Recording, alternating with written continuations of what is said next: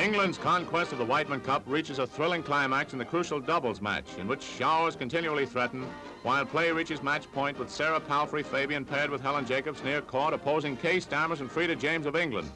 Leading six games to five, match score tied at three all. Smash goes the racket of Helen Jacobs in a blazing overhead drive, and America's Lady Racketeers retain the Wightman Trophy for the sixth year.